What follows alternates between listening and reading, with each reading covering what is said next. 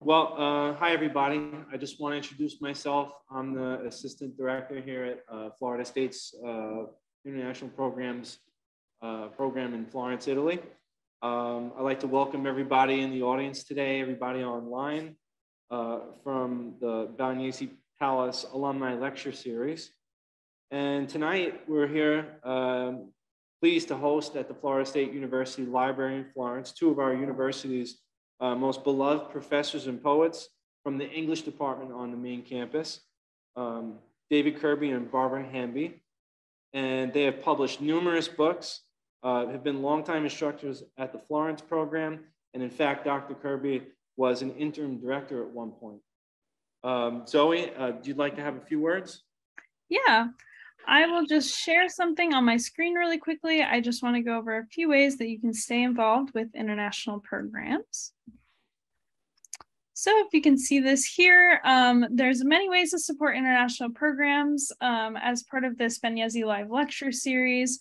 We love to have our alumni stay connected with us, and that's really the whole point of doing these um, lectures. So for community engagement and volunteer opportunities, if you're interested in any of that, you can contact us at ip-alumni at fsu.edu.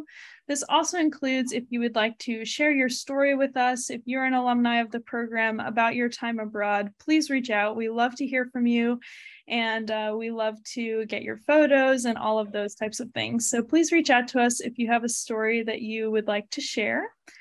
Um, and then, of course, if you would like to give back to international education and give that gift and make those dreams come true, you can make a financial donation. So that would be done through contacting Sarishni Patel in the at the FSU Foundation. So um, her email is there. It's spatel at foundation.fsu.edu. Um, and now I will stop sharing my screen and we will go right into the lecture. Thank you. And for those of you in the audience, we can get you that information as well um, that uh, Zoe just gave out to those online. Uh, if you're interested in learning more about it, you can uh, talk to me after the lecture series and I'll get you that information.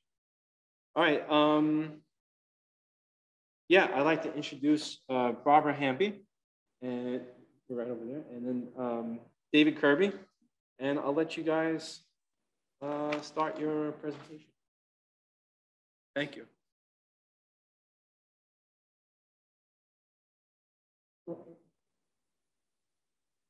Working? Yeah. Okay. Okay. Um, hello to you. Oh, hello to you. Hello to Florence. Um, we um, yesterday did the most wonderful thing. We went to Larry uh, the uh, the where Shelley uh, sounds morbid, but uh, when you're a poet, uh, at least. Uh, a little closer? Yeah. Okay. When you're a poet, um, you know, you, you this, this poet likes to hang around places where poets have been and poets have worked.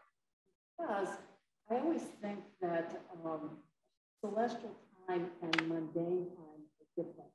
And that the muses might just be hanging around because they don't they don't really know that the um, the big guys have left, and so I might get some rags of their um, instructions. So it was really, really beautiful, although I have to say, I wish it was bright and sunny and beautiful. But we have um, a lot of people to thank, and um, uh, I grew up in a big family where showing gratitude was looked down upon. So, but David grew up in a very small family, so he's very good at it. You want to take over? I'll be the uh, vice president in charge of gratitude. Okay. Happy, happy to do it. Uh, well, gosh, uh, they're obvious. They were pretty much uh, in love with and to Charlie and Zoe back in, uh, in Tallahassee at the front Muir for running uh, the, the center here. And for uh, this is where I segue to the Oscar moment where I said so many people to thank. But I'm not going to thank anybody because I'm sure I want to thank my mom and I want to thank my dad and um, and uh, yeah, so Shelley's dead, but poetry is uh, eternal. It is indeed. Or Barbara's poetry is eternal. Uh, well, what we'd like to do is read some poems that um, feature Florence because uh, we talk her a lot.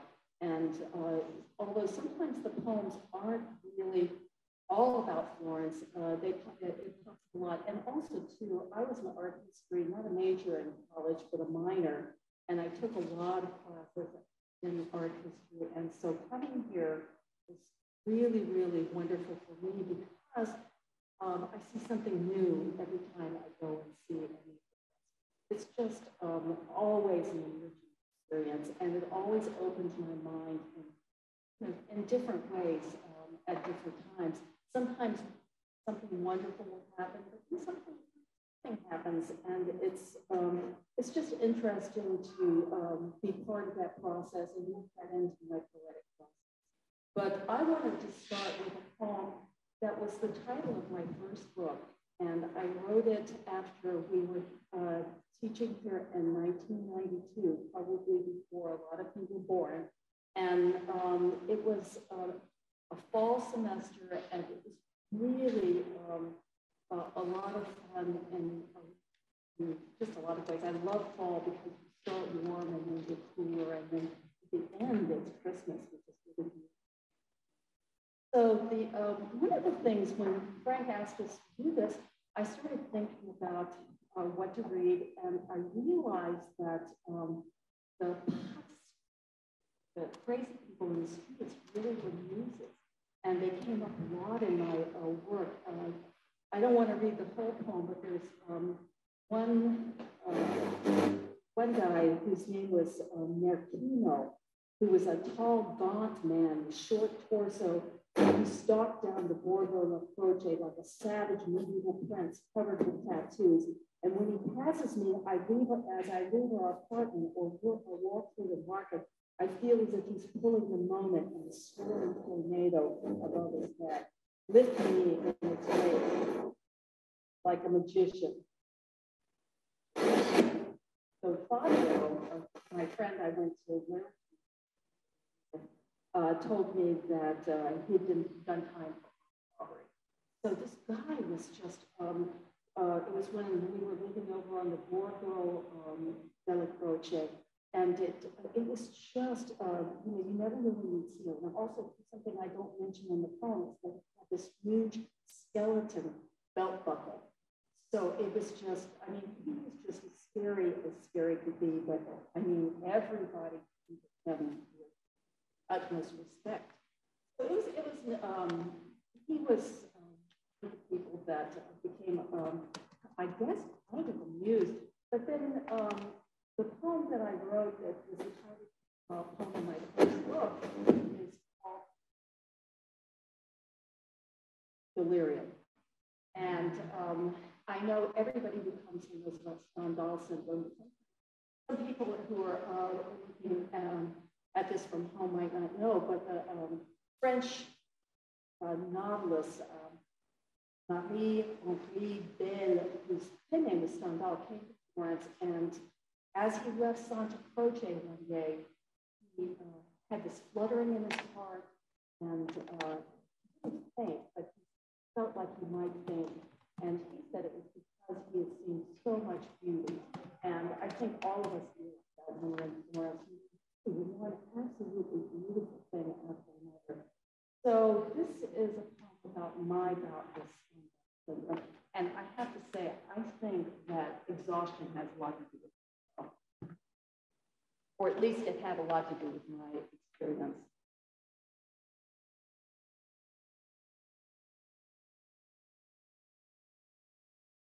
Just before I faded in the restaurant that evening, I was telling you a story about a madman I saw earlier in the day as I walked home from my ballet class just off the Piazza Santa Maria del Carmine. And after crossing the bridge of Santa Trinita, looking in at, in at Ghirlandaio's frescoes for the Sassetti family, then uh, wondering how many women there were who were young and rich enough to wear the see-through lace cowboy shirts in the Gianni Versace windows on the Via Tornabuoni. At the intersection of the Via de Calzaioli and the Via del Corso, I walked into a hullabaloo being drummed up by a bearded man who was stalking back and forth, screaming something in Italian, of course, and waving his arms in the air. But when he turned, he would reach down with one hand, plant his crotch, and then pull his body around as though his hips were a bad dog and his genitals a leash he was yanking. After each turn, he'd continue stalking and flailing until time to turn again. So I'm trying to explain this in our pizza. And I saw off a bite, but it's too hot. So what do I do but swallow it? But, And it's too hot. And I think, it's too hot.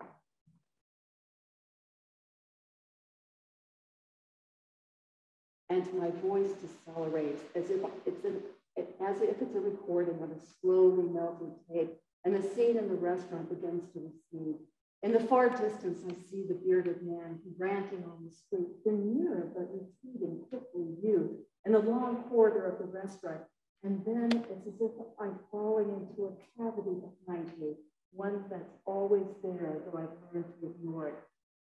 Um, but I'm falling now, first through a riot of red rooms, then gold, green, blue, and darker until I finally drift into the black room where my mind I wake up in the kitchen lying on a wooden bench with you and the waiter staring at me. I'm fine, I say, though it's as if I'm pulling my mind up from a deep well. The waiter brings me a bowl of soup, which I don't want, but it doesn't matter because the lights go out and a man at the next table says, Primo quella signora ed ora la luce, which means first that woman and now the lights. And it's so dark that I can't see myself in you. And I feel as if I'm turning, a mad voice rising from my stomach crying, Where are we anywhere? Way, and who, and what, why? And I think that's what I love most about travel is that it makes you ask yourself.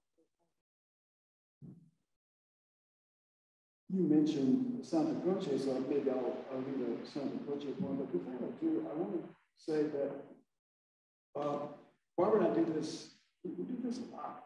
Um, we try to do it together. Sometimes she'll go to another school or another venue, and sometimes I will, but uh, you know, life's too short, so we try to put it together. And almost all the time, it's, it's 90% poetry because we're there poetry students and poetry programs.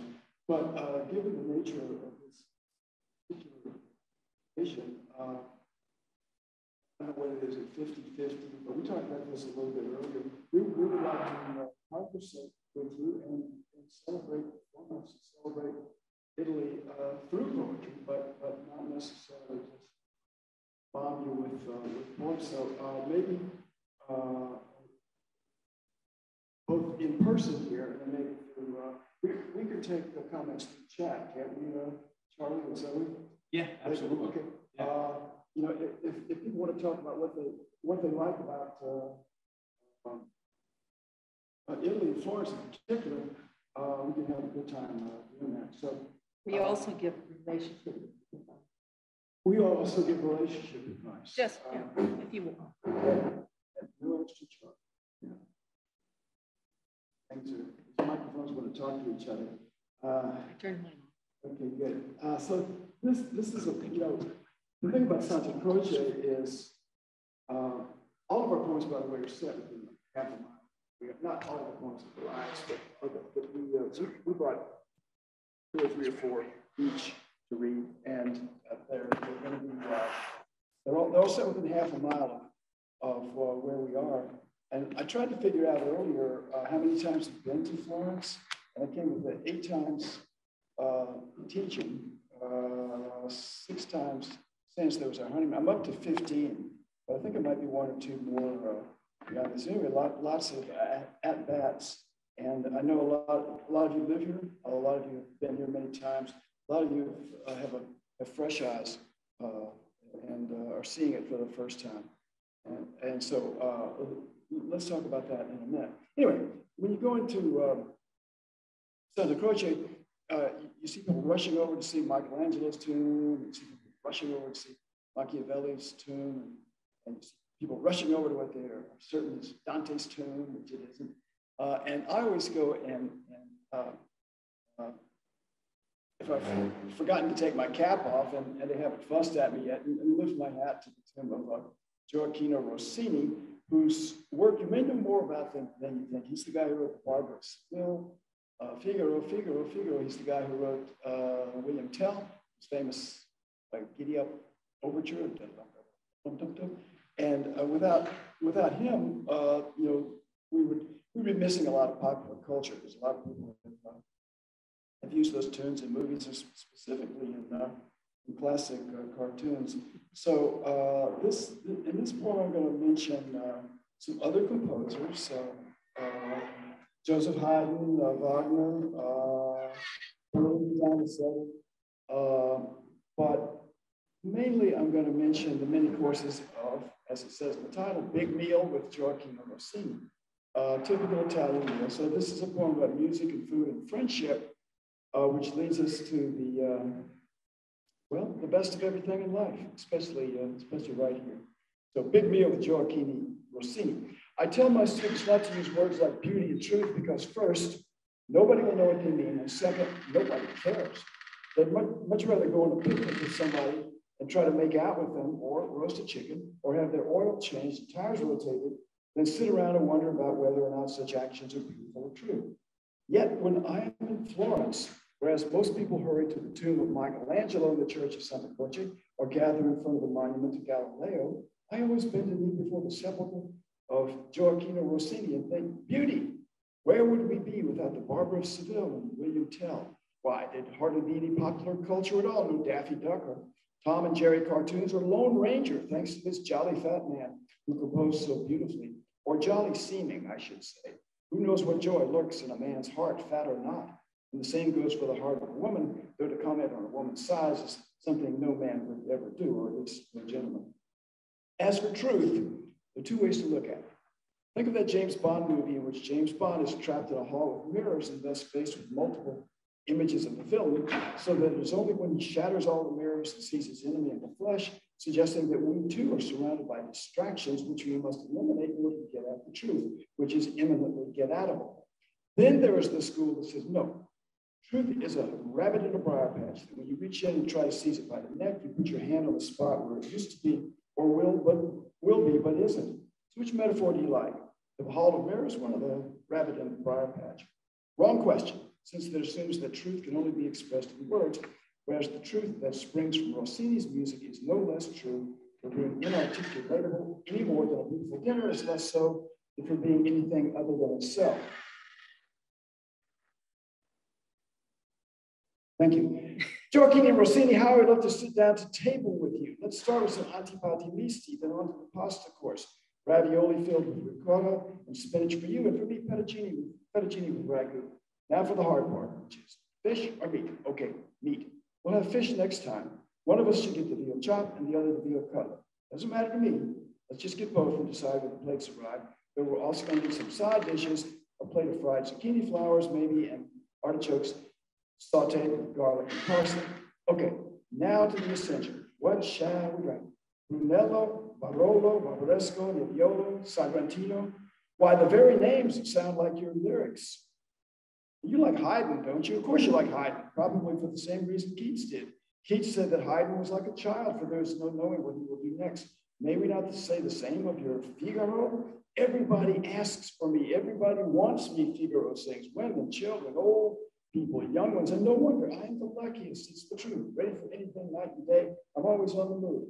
That's the way, isn't, isn't it? Moving from one thing to another, no matter how big or small the thing, no how long or short the journey. Look, the antipasti. Often you were left in the care of your aging grandmother who had difficulty supervising you. So while your father played his horn and your mother sang, you were left in the care of a butcher and later apprenticed to a blacksmith. No wonder you're at home in the heart of the ordinary uh, people, uh, heart of a barber, say, or a serving girl. My chop is bigger than your cutlet, and I want you to have it. No, no, I insist. I'm putting my foot down, Rossini. Pass, pass the vegetables, please. One can't judge Wagner's Lohengrin after a first hearing, you say, and I certainly don't intend to hear it a second time. Ha ha, strong passions, Gioacchino, strong passions. You say, give me a laundry list and I'll set it to music. How about a cheese course? Oh, that's right, you're the one who says ice cream, always. Sempre gelato. If every politician had that as his or her campaign, campaign slogan, they'd get elected. And then where would we be? and if you can make a sonata or a cantata or an etude or a scherzo out of a laundry list, think what you could do with this beautiful dinner we're having. I'm glad the restaurant is playing Bellini and Donizetti tonight. I bet you'd feel silly if you were listening to your Lady of the Lake or Cinderella. But I just want to say, when I listen to those works of my own, I feel more in touch with the times in which they were composed, yet closer to something that's bigger than this world, that's infinite even, that dishes up more love, compassion, excitement, gentleness, more good of every kind than I have already. Music doesn't teach us anything. It teaches us everything. Yes, yes, it's late, but do let's take a gestivo, a digestivo, grappa, or sambuca, or both. It can't hurt. It, it can, but who cares? Tomorrow we'll wake up with information and sore heads. So that's that's the language of uh, language of music, language of food. You know, I was thinking about that guy, this scary guy who'd been in prison. I, I tried to talk to him once. He taught me some Italian words I didn't, didn't know that. I think probably most Italians. Good, good guy, probably, probably not. Yeah, I remember that. That was kind of the, one another thing that I love about Florence is music, and we've been hearing a lot of music here. Um, did anybody go to uh, hear I Due Foscari with, uh, wasn't, all I can say is Jonathan Tetelman is the next big, big tenor, isn't he? This, the tenor, uh, I, I went to see it because uh, Placido Domingo was um, singing, and I never uh, heard him sing, but I was just bowled away by uh, Tetelman. This guy had the biggest, he was the other Foscari. Uh, Placido was the, the father, and he was the son, and uh, his voice was just enormous. I mean, that doesn't really describe it, does it? It's, it was just so monumental. And um, so I've just been playing um, that, that beautiful aria that uh, at the end of Tosca over and over. And then I have another favorite tenor who's Jonas Kaufmann. So I have a battle between uh, Tetelman and and uh, is uh, Chilean, so that's really uh, interesting. Um, absolutely beautiful experience. And um, I, uh, uh, I think that one of the things that I'd love to talk about is how important I think it is to do things uh, that you don't do very well and how it feeds into things that you might do. And uh, one of the things I love to do, and I'm so bad at it, is drawing. But I really love to draw. And uh, the first uh, drawing class I took was a perspective class that my friend Karen Myers taught here years and years ago. And I just got hooked. And, um, and so I took drawing lessons in, uh, on the Valencia program with Tim White. And then I took um, them in London when we were living there uh, at the National Gallery. And um, Penelope, my drawing teacher, told me, she said, uh, you'll get better. I thought, thanks, Penelope. And but you know, it's true. You could do get a little bit better, but not not that much better. But one of the things that I've drawn so much pleasure from in uh, being in Florence is that I love to go to the Bargello and just draw Donatello. It is absolutely one of the most sublime pieces of art ever invented, uh, I mean, ever made. And um, I can't even remember the first time I saw it. I'm sure it was in that art history survey class. But um, little did I know how much I would fall in love with David. I've looked at him so many times. I've drawn him so many times. I have sketchbooks full of him. And it's just a pleasure to go into the Bargello and spend about an hour, you know, just um, sketching. And I've um, met a lot of people. And just a tip, uh, you can pick up um, girls and guys there, you know, because uh, everybody likes to sketch. And I've been able to, you know, strike up conversations with many people and, uh, and probably could have taken it farther if uh, David hadn't been the offing you know, so, here, but, you know, I'm just a tip, you know, uh, but, you know, they'll show you your sketches, who knows what will happen next. But um, one of the things that, um, a, a, funny thing happened a couple of years ago that is think about actually um, you my arm.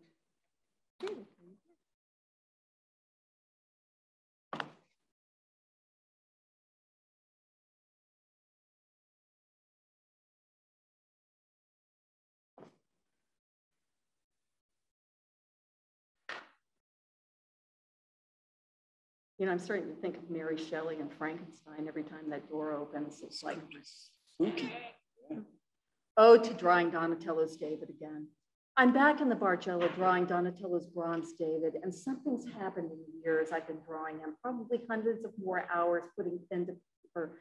So my line is not as quavery, and I'm happy to spend an hour or so in this beautiful room with a marble David also by Donatello that, and they've moved Verrocchio's bronze David from upstairs. And when my husband is in the room, that's another David, but he's restless and away he goes. So it's just me and my David until a Spanish woman stops me with an anguished face and asks if David is a boy or a girl.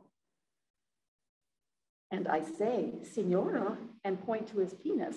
But this doesn't solve her problem. And she says, but he's so feminine. And I can't help but agree but he has, uh, because he has a soft chest and a flowery hat, yet there's Goliath's head under his foot and that big sword he's leaning on. But I've got a drawing to finish and the senora gives up. But soon a cavalcade of fidgety men walk up with their wives or their guidebooks or books that tell them that this is something to look at. And I hear a parade of sneers, snickers, hoots, and see some world-class squirming and a woman and a man get into a heated argument over my guy. And I think, wouldn't Donatello be out of his mind with happiness that after almost 500 years, he's raising a ruckus. And I'm making, and making men and women squirm with his beautiful bronze boy. And little did I know when I first saw this statue in art history class, how much in love I would fall how I would know every detail, the ribbon and flowers on his hat, the crook of his elbow, his hand grasping the vicious sword, the jut of Goliath's nose, his helmet, the blood and tendons oozing from his severed neck, David's tresses cascading over his shoulders. But how can you know when you first see someone how every breath he takes will, will perfume your day, and every moment you spend apart will be a knife in your heart.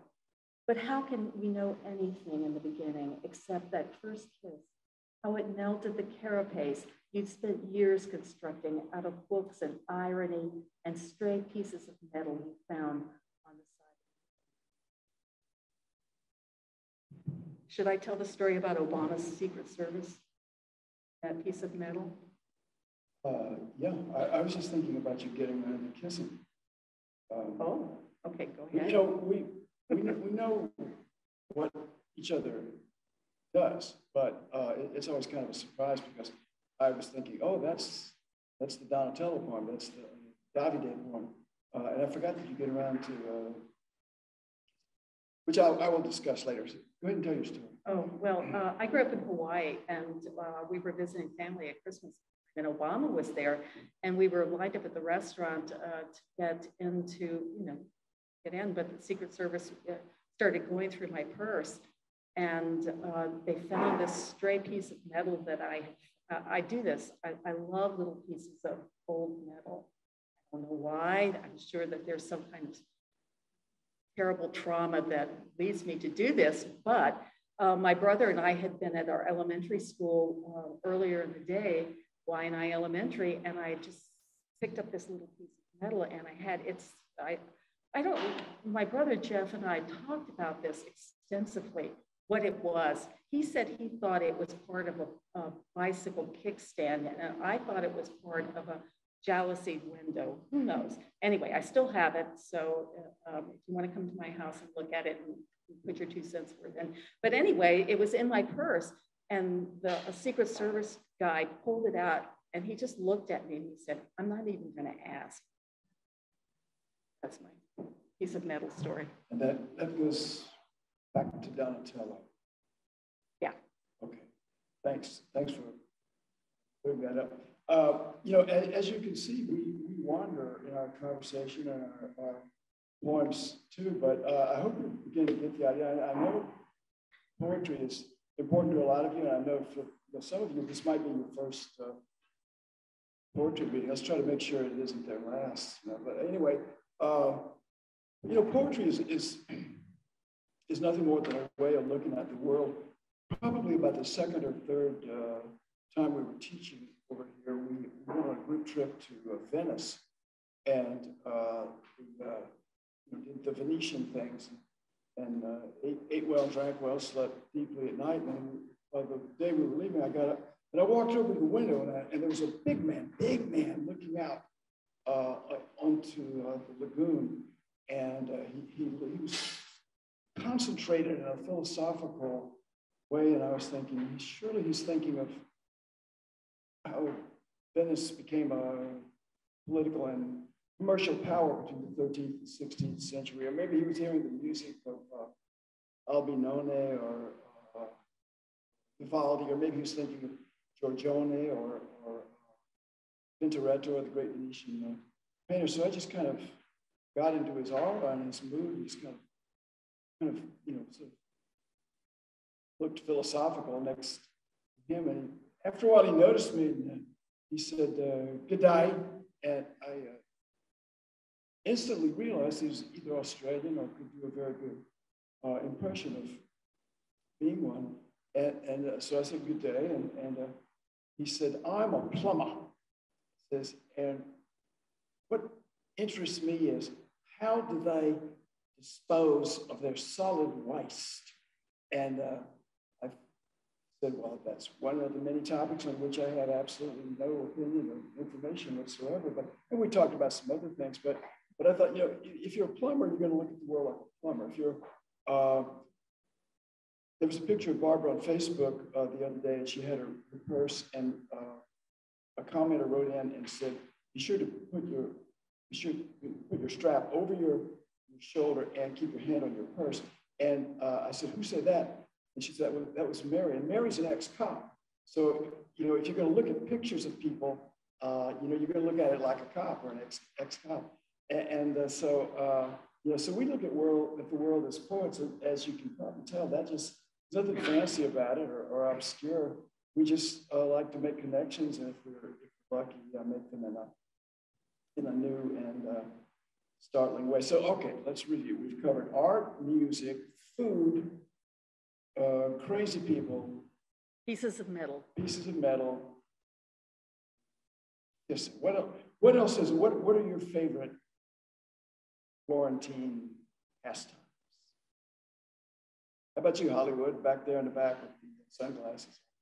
What's, what, do you, what do you like to do in your spare time when you're not writing these Lincoln term papers?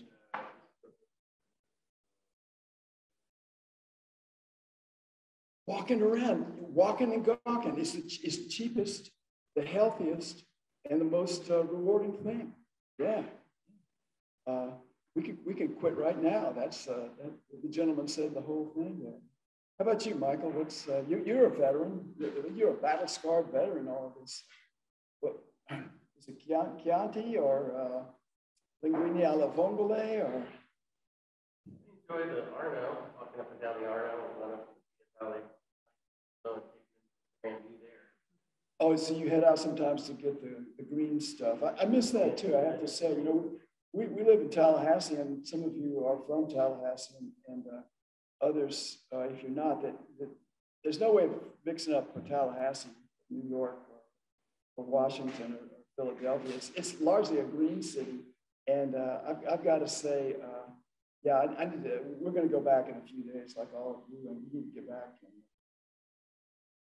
and, uh, and, and kind of soak up some chlorophyll, I, I guess. Uh, it, it's it kind of it's hard to hard to find, but uh, in, in the spirit of walking around and looking at things. I think I might read a poem called uh, Grumpy Old Woman uh, because uh, keep, keeping true to my promise that all these poems were written within a, few blocks of where we are right now.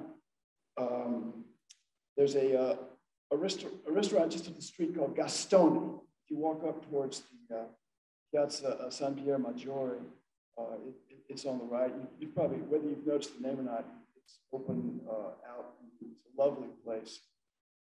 great food. And there's a guy I mean Dario who owns owns it. And uh, uh, one thing that Barb and I do a lot of when we, we walk around because first time I I first came here in 1973, and there was a long dark ages, long gap, and then I, I was 14. Barb, she was 14, and then I met uh, with Barbara, got married, so we came back in uh, 1982, but then we didn't start really digging in until, uh, until the 90s and the aughts. But one thing we do a lot is, didn't this used to be this, and didn't it used to be that? Well, Gastone, the restaurant, used to be a forno, a bakery, and there was uh, the grumpiest old woman in the world sat in the corner of the bakery and uh, take your money. Like everything you did was wrong. Everything was an insult. If you overpaid, she was mad. If you underpaid, if you held out your hand for her to count the way we all do, uh, you know, she'd pop your hand and your money would go everywhere. And so I mentioned this to Dario, and I, said, this used to be a forno, and he said, see, and I said, and, and, there used to be a una, una vecchia arrabbiata in the corner, see. And, and, we talked a little bit more, and then Dario said, uh, non è una vecchia, una vecchia arrabbiata, non è un forno. If there's not a grumpy old woman, it's not a baker. So, uh, so I thought, you know, that's, that's something you can take to the bank. Uh, but uh, looking at her and thinking about her and her sisters, are innumerable, uh, I, I began to wonder what I could do with that in a poetic line. And what I, uh, I guess what I wondered was how, how do you get that way? So I, I did a kind of a time travel, or starting here with this point going back, and um, in the departmental, in the Department of Poetic Wandering, wandering through some uh, uh, different reasons why women might be grumpy, one of which and, I have no other opinion, this is total objectivity in science, is pregnancy, uh, which of course is annunciations, right?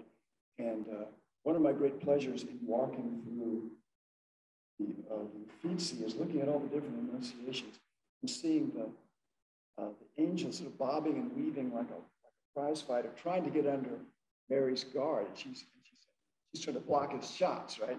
said, no, no, no. And, he, and he's, he's, I got some news for you. I no, I don't want to hear it. Uh, and uh, so I thought maybe, uh, uh maybe some of these uh, uh, grumpy old women and the mother of our Savior have something in common. Grumpy old woman, and there's a little epigraph, that little piece of writing between the title and the pharmacist. Grumpy old woman, Florence, or Rome, really anywhere in Italy. She's everywhere in this city. I see her behind the cash register, ironing some guy's shirt in a doorway, sweeping the courtyard. She's grumpy already. And if I say buongiorno to her, she'll look up, scowl, turn grumpier still. I blame her husband, who was probably mean to her while he was alive and then did her the disservice of dying before he could mend his ways or she could take her revenge. Or it could be her children, the ungrateful parasites. Who wants to get pregnant? I know plenty of women. Just as many don't, yet they meet some careless fellow, and there you have it. How I love the angels in the great paintings who tell Mary she is with child. Some as pushy as door-to-door salesmen, and others contorting their body like bodies like wrestlers, trying to get under the guard of a woman who just wants to sit in her garden, read her book, nibble her apricots, drink her tea without taking on the problems of the whole fucking world. And if Mary looks mildly pissed, there are plenty of other women who are out of their minds with. Look at the Judith in Artemisia Gentileschi's painting cutting off the head of Holofernes. Girls sawing away as her maidservant caresses the tyrant as though he's just had a mani-pedi or settling down for a shampoo and a light trim. Judith's mad about something, mad about everything, probably. And who can blame her? For centuries, the church fathers have been telling women they're temptresses, they're bad just for walking down the street, pretty, for smiling, for saying hello, and also not saying hello. Because either way, they make men mad, they make, make men do things they couldn't do otherwise, women are horrible, they're wrong with this world, blame me, I didn't do it. They did, it's their fault. Men, we can do better. Men, look into the face of your grumpy old woman. Novelist Ursula K. Le Guin tells, tells us that the tired old faces we see in paintings delight us because they show beauty that is not skin deep, but life deep. And if that is true for a work of art, how much truer must it be for your Luisa, your Francesca, your Gemma, Gina, Beatrice? You were Adam once, mister. Eve. There was a garden, and there's a snake, sure, but there's always a snake. And here's the road that leads from that garden to this world, which isn't worse, really. It's just different. And you have to work now. But there's something about work that satisfies you deeply. You're making things that people want. And if your boss is a little stern, he smiles at you from time to time. And you sense he sees something in you that you didn't even see in yourself. And like Tommaso and Michele, guys you work with, and nobody likes Andrea, but he's gone now. And if your hours are long, pay is still good. And when you come home, there she is. And you have your whole lives ahead of you. We can add grumpy old women to our list, our, our growing list of wonders of uh, Italy. I'm thinking about that. Kind of grumpy. Huh? But, but uh, never old. Not cannot be. Actually, I was thinking when you were reading that about uh, going to Santa Maria Novella on Monday and seeing Uccello's um, frescoes that have been restored and are in the museum now, and that beautiful snake in the garden with a woman's head. Oh my God, that is, that's the, um, that's the best snake I've ever seen my entire life. If you haven't seen it, you, have got to go and see it. And also, too, there's a Last Supper by a woman uh, artist there, uh, Plautilla Nelli, uh, that was, she was the head of a workshop of painter nuns uh, here in Florence uh, around the time of Sabbat. That's uh, always really exciting for me and there was a big show at the Uffizi, maybe I think three or four years ago with her work in it. And, uh, but you can see it there at some, it's been beautifully restored. If you go online and look at the way it was at first, it's just a mess. It had been folded up and, and um, flowing now. It's really but um, one of the things um, that um, I really love about, about Florence are the, those little cookies you dip in. Um, they uh, have various names, um, biscotti or uh, cantucci. And so uh, one of the um, things that I love about uh, you know, going to see a piece of art is often you come across something that you weren't expecting. And um, that happened one time when I love Pontormo. Um, has everybody been to see the uh, the Pontormo Deposizione at the um, Santa Felicita? It's so beautiful. It's just one of the most beautiful paintings, and it makes you proud to be a human being. Um, that something like that, uh, and and also too it could be done by a human being, and also too kind of a minor, maybe kind of crazy uh, human being too. Uh, uh, I love Pontormo he uh, started off in Andrea del Sarto's uh, workshop, and then he had, as an apprentice, uh, Bronzino. But they were more, they were really more friends because I think there were maybe there was just maybe eight years between them. So one of my favorite stories is um, going to the Medici Villa at Poggio a Caiano and seeing this beautiful Pontormo fresco uh, high on the wall. And when he was doing it for the Medici, he um, he just had a he had a breakdown and he just said i can't do it. I need my bronzino. They said what are you talking about? He said, he said bring me my bronzino. And the medici caved and they said okay. And they brought him his bronzino and he finished it and thank god because it's so so so beautiful but um, that's not the painting i want to talk about but um, the um,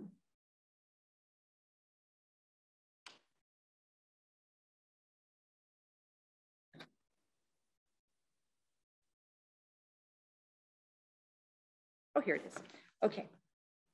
Um, we were in um, Carmignano because the um, uh, visitation was there. Now, it, we uh, we had to hire a guide who had a car to take us there because the you know you have to take about 16 buses to get there and it takes all day. So I just said, okay, I'm just gonna um, regard a, a, guide. And so she took us there. And then the next two years, um, it was in uh, it was in Florence. Once at the Pitti Palace in the show, and the next it, was um, at the Strozzi at the big uh, Bill, Viola show. But um, the first time I saw it, it had just been restored, and it was absolutely beautiful. And um, so this is about that, uh, about that experience, and then also something else that happened in um, Ode on girlfriends, the brain, and those little cookies. Pontormo's visitation is in a village church at Carmignano, a town near Florence, and once we turn the lights on, one of the most luminous paintings in the pantheon of color appears, and in front and center are Mary and St. Elizabeth, both pregnant with sons who will stir up no end of trouble, though they don't know that. But there are two other women our historians have been arguing about for 450 years. Who are they?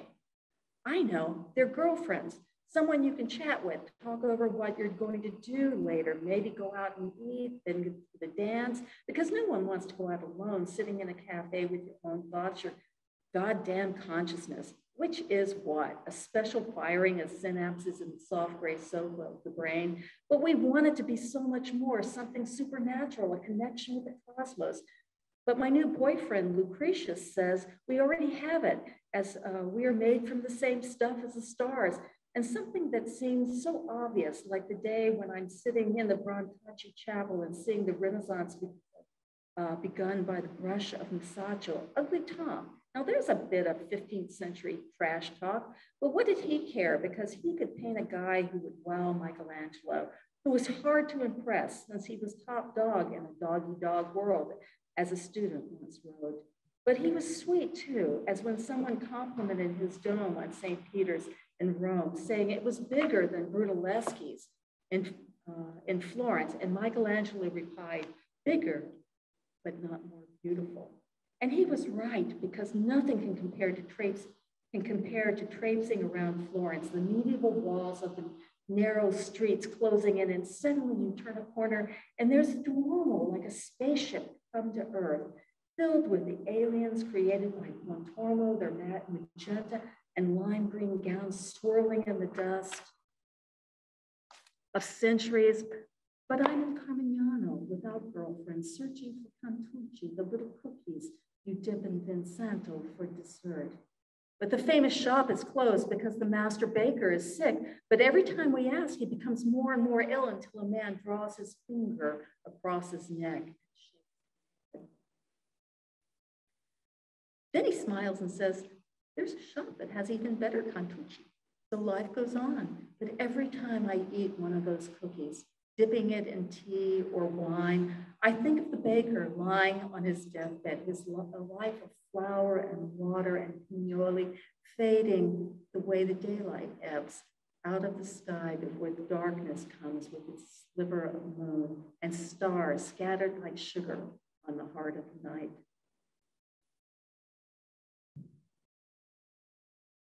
Um, uh, pastries. Pastries promoting them to the very top of the list. Um, you know, I, I don't know how this happened. We must be having fun, Barbara. It's almost uh, seven o'clock. Maybe I'll, uh, uh, why, but your poems are so wonderful, it's hard to keep count. How many did you read? I can't remember. Okay. Maybe somebody else I is counting. three, so I've read two. So Okay. okay. But, me, but first, would Fair anybody, is fair. Would anybody like to uh, to ask us a question or make a comment or uh, gets, didn't we offer a relationship? I was kidding. Better not touch that one. When nobody wants to get my relationship advice. Yeah, how about it? Yes, remember, remember the first time I got curious about Florence, faculty, it actually started as a green underneath year's grass student in 1990 in English David Kirby uh, one of my professors. was scared of him though, because he's this famous poet who had heard just returned, and Barbara just returned from uh, Florence. So he'd do a little article for him and Well, like, I spend most of my time riding on the shoulders of David at the Piazzale della Signoria. and of course, he said it with such confidence and such passion. I believe it. I was pretty sure. The party a few months later, I asked Barbara, like, did you really climb up that David statue there and ride his shoulder? Rolled her eyes. She's like, no, no. If, if, anything, what he should have been doing is spending his time at Bargello, looking at that. The uh, that's that's when you learn about the about the importance of fact checking. And also the, the great thing about poetry is that is that you don't have to uh, don't have to check them. Uh, everybody knows you're making stuff. Actually, you have um, an ex-student who fact checks you all the time, which is I like, do. Yeah, autism is a beautiful thing. It can be put to good purposes.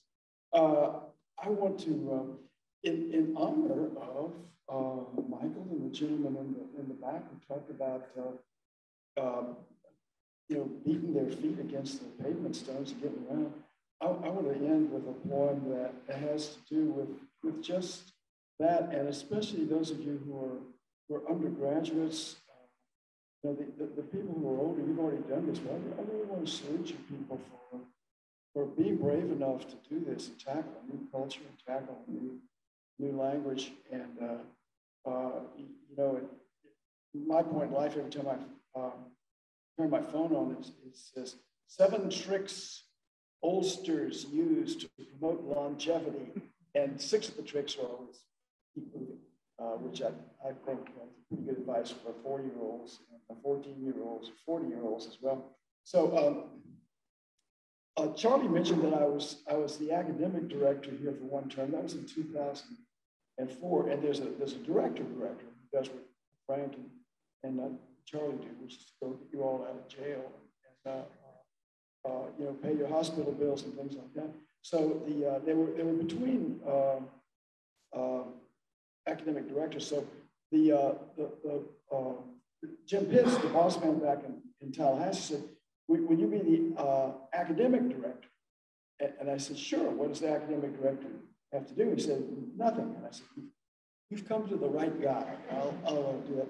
But uh, actually, I didn't do nothing because the best part about it was I got invited to parties at consulates and, uh, and embassies. I, I, went to a, a, party at the American Embassy uh, once. Barbara and I went and uh, talking to a guy in a nice English accent. He said, What do you do? And I said, I'm a poet. And how about you? He said, I'm a duke. And, and I said, uh, uh, You mean like a, like a duke or a player? I said, No, I'm the Duke of Northumberland. And I said, Oh, know, you know pleasure to meet you, you know. Uh, so, um, but I also met a man.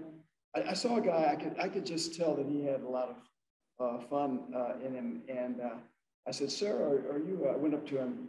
You, you, you know, I could tell he was Italian. I could tell I wasn't. I said, uh, Are you uh, a man of learning? And he smiled, kind of smiled, smile, and he said, he said, I believe myself to be, but my colleagues will tell you otherwise. His name was Mario Materassi, taught at the university. And uh, we befriended uh, Mario and Millie and, and, his wife and would spend time with them. And the first time Mario invited us to uh, house. He lives in the piazza, lived in the Piazza della Indipendenza. He said, be very careful. He said, the two Materassis on the uh, that brass doorbell thing the older Palazzi had. He said, make sure you press the top one, uh, not, not the other one. The other one is my sworn enemy. It's going to be big trouble if you press the wrong button. So I said, okay, okay, okay.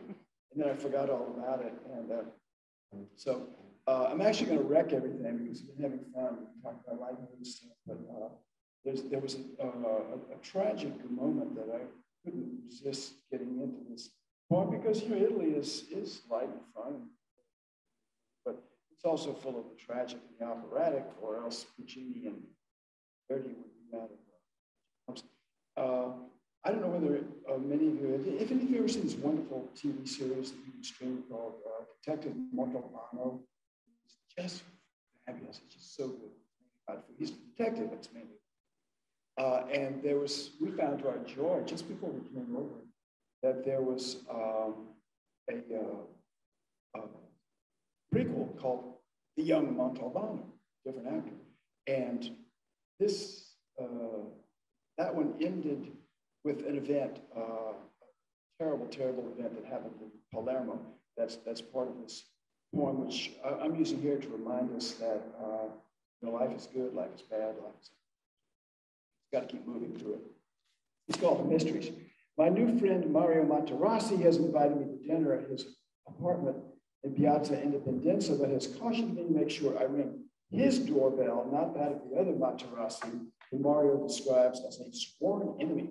But since I've lost the piece of paper with the directions on it, I don't know whether the button for the Materassi I want is the one at the top or the one just below it. If I get the right Materassi, I'll have a nice dinner and no doubt some of the finest wines known to humanity, whereas the wrong one might lunge at me, crying Turco, Turco, or Turk, Turk, as did the Gonzaga family of Renaissance Mantua, who derided their sworn enemy even as they took unto themselves his murderous mojo, much as we did with the Native American tribes whom we cheated and slaughtered and made into mascots for our sports teams. So which button do I push? There is a mystery at hand, terrible yet enticing. No wonder the medieval guilds guarded jealously the mysteries of their professions and even called themselves mysteries, which is not so mysterious when you consider that, yes, mystery derives from classical Latin mysterium or mystery, but is also related to medieval Latin mysterium or job, which word is more clearly affected in the Italian mestiere or job, one known even to us monolinguists from French métier or job, which has been translated into English métier, job. In those days, painters belonged to the guild of the speziali or pharmacists because they use arcane formulas in the making of their pigments. And there were other secrets as well. Vasari wrote that Andrea del Castagno murdered Domenico Veneziano, from whom he learned the esoteric art of oil painting out of envy, but he can't have, since Domenico Veneziano outlived Andrea by four years. Still, everybody liked the story. Andrea came from a remote village in the mountains, and there was a wildness in his art that suggests a love of crime. Artists like Paolo Uccello and Piero della Francesca gave him everything to study perspective. Well, there was nothing new about it. Pliny the Elder claimed, and here you need to remember, folks, that you always get everything on a very proving point, that the method of representation known as imagines oblique or slanting images was invented in the 6th century BC by Cimon of Cleonae, yet Plato condemned perspective as a deceit, and the technique was abandoned in the Middle Ages in favor of true proportions. Uh, Paolo Donatello said, This perspective of yours is making you abandon the certain for the uncertain. And Paolo wasn't the only one. In politics, experiments in government led to a breakdown in social order with painting a flat surface can be made to seem round, just as the earth, which appears flat, is said by the scientists to be round after all. In other words, perspective can mean scientific control of physical space, or simply, that's how I see it, goddammit. I see the whole Megillah as tragedy, comedy, history, pastoral, pastoral, comical, history, historical, pastoral, tragical, historical, tragical, comical, historical pastoral, scene indivisible, or poem unlimited, as fellow says. In other words, there's more than a single perspective to the word perspective. Often, in the midst of unbeatable sadness, there are moments of strange beauty. After the mafia killed them with a bomb under the bridge leading from the airport to Palermo, for example, the funeral for Judge Falcone and his wife and three of their escorts, at which the 23-year-old 23-year-old widow of one of the bodyguards, a Rosaria Schifani, little more than a girl herself, sobbing for her lost husband as she stands to address the audience, saying, My Vito Schifani, he was so beautiful, and he had such beautiful legs, and then crying out in anger telling the politicians and officials who crowd the church that they are as guilty as the man who pressed that detonator. I pardon you, but get down on your knees. And then, in a torrent of fragments, there's too much blood here. There's no love. There's no love here. There's no love here. There's no love at all. Where is love? What is knowledge? Is it that there is no knowledge or is it something more? Standing before the doorbell of Mario and the other Materassi, I put my finger on the top button, then the bottom one, and then the top one again. And I turn and I look out at the square where the night has come early with the cold winds that blow down from the Apennines. And a mother shoos her children home, a girl and her younger brother. A couple passes like the lover in Lampedusa's leopard, perhaps, these being the best years in their lives. But they don't know it. They pursue a future they reckon more than substantial, though it turns out to be of smoke and wind. The last old man pulls his newspaper and sits on the bench just a minute more, as cold as it is, as though he can't bear to leave. And then he too goes. And without looking back, I reach behind me and push the first button I touch. And somewhere in the building, there are feet on the stairs and a door opens. That point doesn't really end, but we gotta really end. Yeah, what should we do? I think that in, um, we should ask for questions. Anybody have any questions, comments? Say? Thank you for being here. Thank you so much. Let's, let's- let's check and see maybe if we have some online Let's check the chat. See what we got going on. Oops. I'll let you break the computer. Not me. Joe, do we have any online questions? I'm not seeing anything in the chat at the moment. Just wanted to be sure we didn't lose anybody. Negative. Yeah, I don't think so. Okay. Thank you so much. Go Noles back in Tallahassee. Bye-bye. Thanks, everybody. Thanks, everybody. Thank you.